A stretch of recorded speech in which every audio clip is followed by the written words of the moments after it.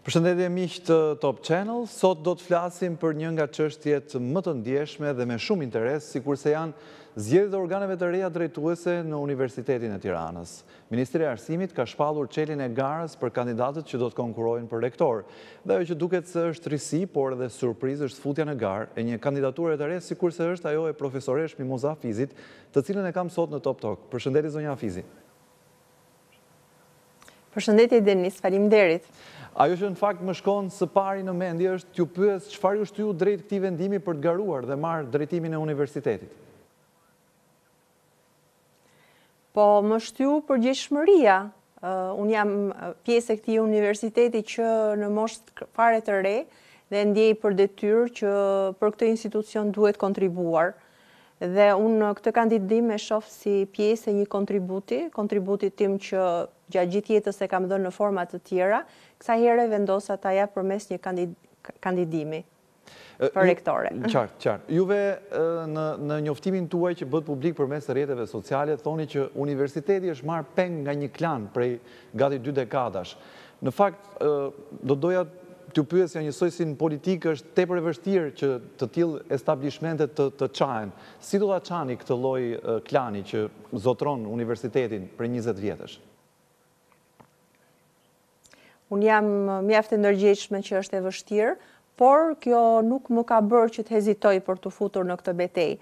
Në fakt ka nja 2-3 muaj që janë hapur, zgjedhjet janë zvarritur, siç ju e dini, zgjedhjet në universitete dhe unë kam qenë shumë e vëmendshme për të parë se çfarë po ndodh dhe kam ndjekur me vëmendje nëse do të kishte ndonjë kandidaturë tjetër, të themi e profilit tim dhe jashtë këtyre klaneve që kanë sunduar universitetin prej njëzet vitesh.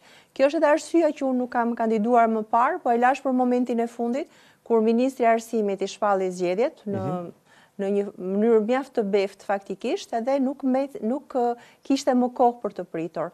Por ishte një mendim i pjekur, Edhe kam hyrë me bindjen e plotë në një betejë që më pëlqen jashtëzakonisht, sepse është një betejë të cilën unë e njoh, e njoh arsimin e lartë, njoh universitetin tim dhe e di se çfarë do të shpreh në këtë fushatë. E bëj me shumë dëshirë edhe besoj se do të kem aleancën e shumë, shumë pedagogëve të cilët janë po ashtu si puna Po ashtu si puna ime, me të njëjta tipare, domethënë njerëz të përkushtuar, me idealizëm shkencor, me ndershmëri profesionale, me vlera të cilat në Universitetin e Tiranës nuk mungojnë, por nuk janë në fasadë dhe nuk duken dhe kjo është për të ardhur keq. Para se t'ju pyes për atë se çfarë juve do t'i shprehni atyre që do t'ju votojnë për rektor të Universitetit të Tiranës, në fakt do të doja Të vija në dukje që zgjedhjet janë parashikuar për më tridhjetë korrik, kur dhe studentët dhe pedagogët janë larg auditorëve.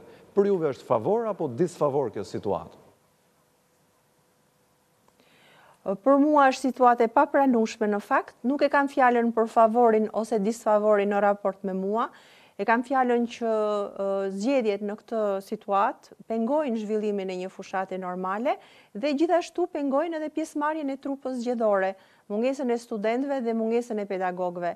Domethënë më vjen keq që zgjedhjet në universitete të zhvillohen në një kontekst të tillë. Kjo është për mua e papranueshme, por është jashtë kompetencave të mia. Unë nuk jam personi që mund ta ndryshoj këtë, kështu që unë vendosa që t'i vjem në ballë kësaj dhe duke pranuar këtë betejë e cila në mungesë të konsiderueshme të trupës zgjedhore, Mund të bëhet edhe më e vështirë, por unë e kam vendosur që ta çoj deri në fund.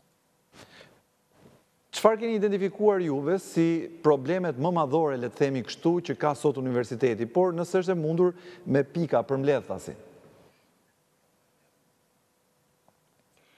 Universiteti i Tiranës është njësia më e madhe, është mjedisi më i madh akademik, shkencor, intelektual i Shqipërisë. Dhe imazhi që kanë shqiptarët për të nuk është i vërteti, pra është imazh i gabuar, sepse duket sikur universiteti është kthyer në një mjedis sherresh, grindjesh edhe abuzivizmi që duket herë pas here ose plagjiature, Të gjitha këto janë tema të cilat kanë dalë në media, njerëzit janë të ndjeshëm ndaj tyre dhe ndërkohë që nuk është kjo e vërteta. E vërteta e universitetit janë pedagogët që punojmë ndershmërisht nëpër auditore. Dhe problemi më i madh i universitetit në këtë kontekst është që fryma e këtyre pedagogëve nuk ndihet shumë. Domethënë ata janë në një farë mënyre të shmangur edhe të përjashtuar, të shtypur, të ndrydhur në universitetin e tyre. Dhe në qoftë se ne arrijmë ta kthejmë Universitetin e Tiranës në normalitet, ose sikur më shkruante dikush sot dhe më pëlqeu shumë, t'i kthejmë Universitetit të Tiranës shkëlqimin e dikurshëm, e ka patur faktikisht shkëlqimin dhe impaktin në mjedisin shqiptar, kjo është një ky do të ishte një hap i duhur, sepse këtë nuk e bën një njeri, po një njeri ka në dorë që t'i lërë të tjerët të marrin frymë. Normalisht nuk është rektori ai që mund të sjellë ndryshimin e universitetit, por normalisht personat kur veprojnë negativisht, ata mund ta shtypin dhe mund ta kthejnë institucionin në një në një institucion i cili i humbet vlerat e po, veta. Po sigurisht që fryma është e rëndësishme fryma që përcjell titullari është e rëndësishme. Është e rëndësishme. Patjetër. Po, dhe në qoftë se ne arrijmë që të ndryshojmë frymën në universitet, pra secili pedagog ta ndiejë që është universiteti është i tij, atëherë kemi bërë një hap shumë të madh përpara. Kjo është e vështirë, sepse përgjatë 20 viteve, imagjinoni, kanë ardhë dhe brezat e rinj njëzet e pesë vjeçarë dhe sot mund të jenë në moshën dyzet e pesë pesëdhjetë vjeçare, janë zhvilluar në një frymë të tillë që nuk e kanë ndjerë se drejtimi i universitetit, menaxhimi i përket atyre, por kjo nuk do të thotë që të mos i bëjmë këto hapa. Dhe pastaj kjo do të sjellë edhe do të sjellë edhe rrjedhime të tjera për të cilat mendoj që janë shumë pozitive.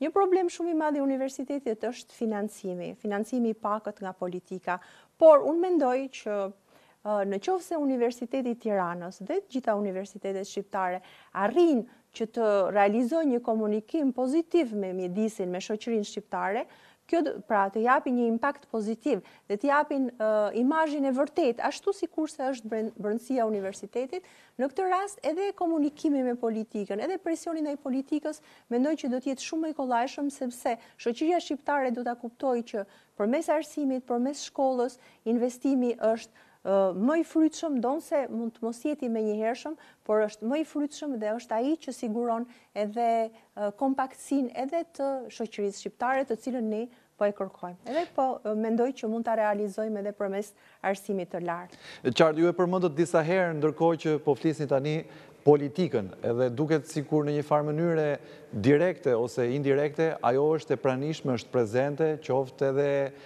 nëpërmjet tentakulave të saj, njerëzve me ndikim brenda universitetit. Por ajo që dua t'ju pyes është në fakt duke qenë tani pjesë e garës, sa mendoni ju që politika mund ta ndikojë garën e universitetit, garën për drejtues në universitet, në rastin konkret për rektor? Edhe mund ta ndikoj, por uh, unë besoj te pedagogët e thjeshtë dhe kam përshtypjen se tek uh, masa e pedagogëve nuk ka shumë ndikim politika. Uh, politika mund të ketë ndikim te pjesa drejtuese, të cilën e ka bërë për vete për interesat e veta, te pjesa drejtuese aktuale, por tek pedagogu i thjeshtë nuk ka një nuk ka një influencë direkte. A mund ta bëj ndryshe pyetjen atëherë? Najsa njoh shumë mirë. Nëse më lejon? A është universiteti një betejë midis opozitës dhe mazhorancës për ta kapur dhe aty kemi një shportë të madhe votash që na duhet? Jo, nuk e nuk e ndjej kështu. Nuk e ndjej kështu, unë e ndjej që aty mund të jetë një betejë midis një mentaliteti të vjetër, mentaliteti i cili është një mentalitet i importuar nga politika, sepse kjo, kjo lloj klanizmit edhe kjo, kjo lloj, kjo lloj këmbgulje për ta mbajtur pushtetin me dekada, i ngjan mjedisit politik. Pra është beteja midis një mentaliteti i cili i ngjan mentalitetit politik të të gjitha forcave politike në Shqipëri, edhe një dëshire për të ndryshuar, për të futur një frymë të re në universitet, ku në fund të fundit drejtimi mund të bëhet me rotacion, sepse të gjithë jemi kolegë, edhe në fund të fundit drejtimi i njësive duke filluar nga departamenti, fakulteti dhe deri tek universiteti është detyrë e gjithsecilit, është, universiteti është një, si një familje e madhe, e cila duhet menaxhuar sa më mirë edhe me një mirëkuptim, jo me këto beteja absurde që na kanë shoqëruar, sidomos në katërvjeçin e fundit dhe e kanë bërë, domethënë e kanë larguar, e kanë zverdhur atë lidhjen midis pedagogut dhe drejtimit universitar. Qartë. Po presupozojmë se fituat garën dhe shpalleni rektore e Universitetit të Tiranës. Lejoni që t'ju pyes, cili do të ishte vendimi juaj i parë me efekt madhor? Nëse e keni menduar një gjë të tillë. Nuk e kam menduar një gjë të tillë në fakt. Unë besoj që ka shumë rëndësi që edhe organet e tjera, senati, i universitetit, edhe dekanatet, pra se do të jetë një trupë e madhe që do, do dali nga një nga ky proces zgjedhor, të gjithë të jenë të inspiruar nga e njëjta frymë, që të kemi një frymë mirëkuptimi.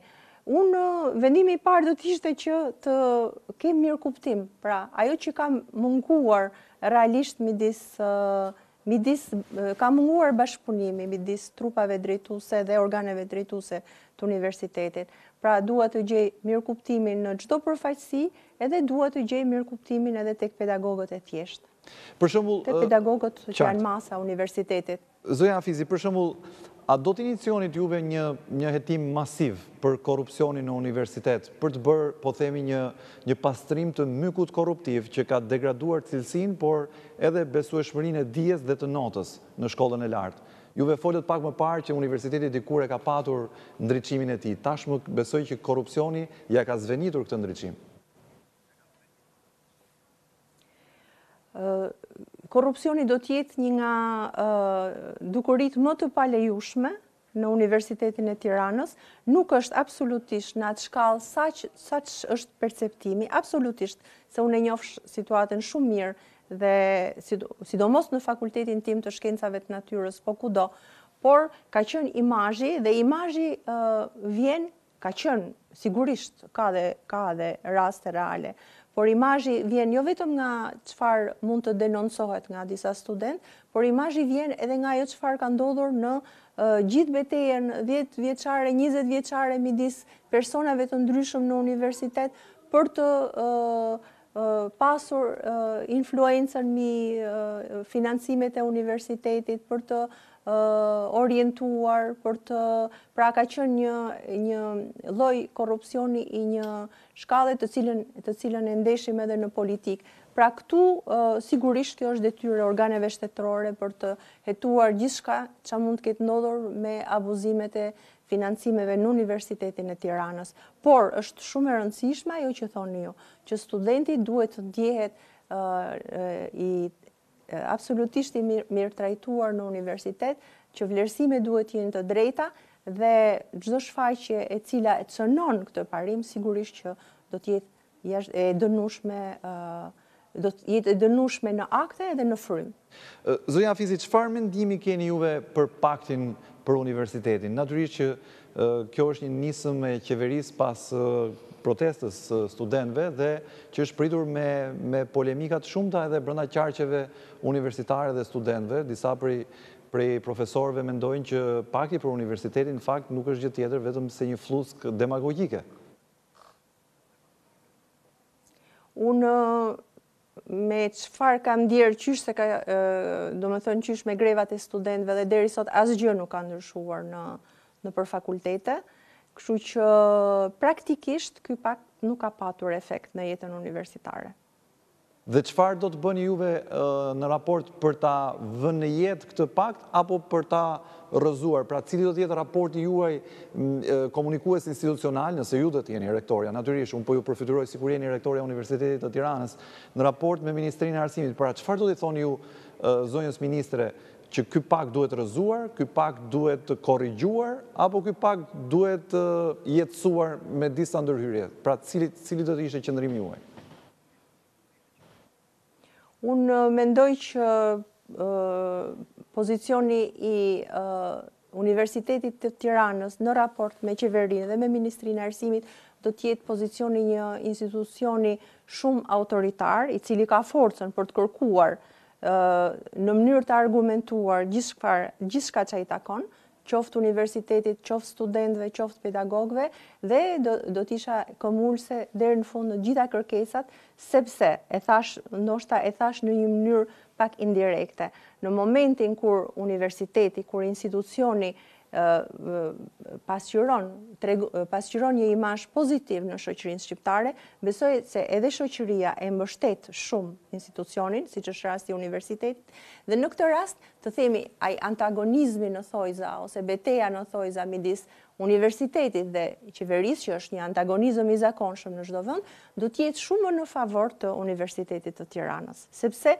universiteti do marrë autoritetin e duhur dhe nuk do të jetë më një institucion i cili është problem për sherret e vogla, po do të jetë një institucion i cili duhet trajtuar si një mjedis që zgjidh problemet e shoqërisë shqiptare. Edhe pyetja e fundit, sepse koha ka përfunduar në Top Talk, do doja t'ju pyesja në një mënyrë naive, përse unë nëse do isha student i Universitetit të Tiranës, ose një koleg i juaj, pra një pedagog, duhet t'ju votoj juve për rektore të Universitetit të Tiranës. Pra, çfarë do sillni ndryshe përveç faktit që ju thoni që do prodhojmë një frymë të re? Por kjo është pak a shumë parimore, por çfarë Njerëzit duhet të shohin tek ju. Po, unë besoj se njerëzit më njohin për integritetin, për besueshmërinë, për faktin që kam qenë gjithmonë një person luftarak kur ka, kur ka marrë përsipër kauza, dhe kauzat e mia unë i, i çoj deri në fund, pa devijuar nga parimet e mia, kështu që besoj se për nga besueshmëria do kjo do të jetë një cilësi e cila do t'i bëjë njerëzit që të më votojnë. Përpos kësaj edhe karriera ime karriera ime akademike dhe shkencore ka qenë mjaft e mirë edhe besoj se kjo Karrierë mund t'i bëj, besoj, krenarë edhe njerëzit që duan të më shohin në krye të këtij universiteti.